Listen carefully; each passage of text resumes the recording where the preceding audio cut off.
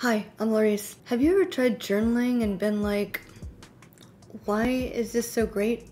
I, I don't get it. Same. I tried it, I didn't like it, didn't make my life better, didn't help my mental health. I was done. And then 2020 happened, and I thought, hmm, I might want to give this journaling thing another go. But before I did, I decided to come up with a new plan. I threw out all my preconceived ideas and notions about journaling and I started fresh. And I came up with a five step plan. And to my happy surprise, it worked.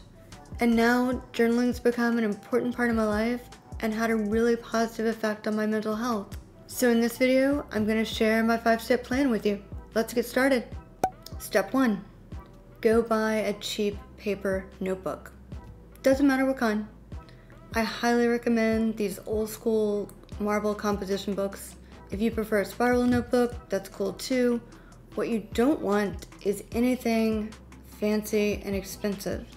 It's gonna feel way too precious and we don't want precious. In this instance, we want basic and cheap.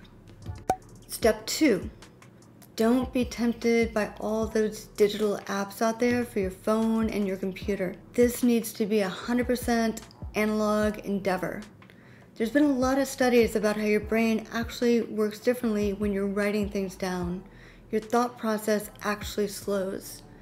And that's a good thing. I know you're thinking, my handwriting's crap. I don't want to look at my own handwriting. Good, you don't have to. You never have to reread this. And I get it. I can't read my own handwriting either. It's terrible. So it's almost like the worse your handwriting is, the better. Because you're not even tempted to reread it because you can't. So, all good. So, 100% analog, pen to paper, no digital apps. Step three, find your tiny spark of rage. Think about the last 24 hours of your life. Think about the one thing that bothered you, that's upsetting you, that you can't get out of your head. It could be something small, like you spilled coffee on your shirt. It could be something bigger, a fight you had with a friend, a bad interaction with a coworker. Whatever it is, take that one thing. Hold on a sec. Hi, so you have no tiny spark of rage? Alright, I have three things to say about that. One, you're very lucky. Two, I'm low jealous. Three, you need to stop watching this video and go find one about gratitude journaling. Now, where were we? Tiny spark of rage. You found that one thing that's bothering you, that's thrown your day off. Write that down. Write down everything about it. Doesn't matter if it's three sentences or a four page rant. Write down everything you need to. Once you've written down everything you need to about that one thing, stop.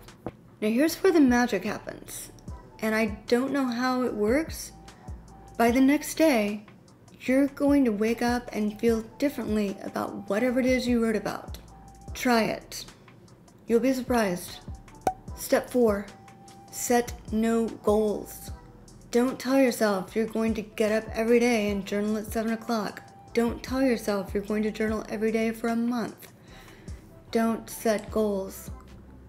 The minute you do that, the pure act of journaling is going to feel like a chore. Chores are difficult and chores are not fun. So, especially when you're starting out, no goals. So, I know you're thinking, if I have no goals for this, when do I do it?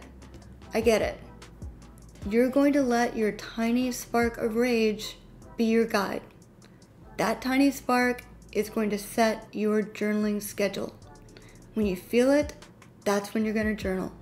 Maybe it's once a day, maybe it's once a week, maybe it's once a month. But that tiny spark of rage is going to be your guide. Step five, don't use prompts. If you Google journaling or look it up on YouTube, you're going to see a million journaling prompts. All those prompts are from other people, other people's ideas. You don't need those. Everything you have is right here in your own head. If you're using someone else's prompts, those things are taking you out of your own head, out of your own ideas, and away from your own spontaneity. So you don't need other people's prompts. You have everything you need. And that's the five step plan. Let's recap. Step one buy a cheap paper notebook. Step two don't use digital apps. Step three find your tiny spark of rage. Step four don't set goals. And step five don't use prompts from other people. I hope you found at least one of these ideas helpful in some way. And now, go forth and journal. In the meantime, stay well. I'll see you soon. Bye.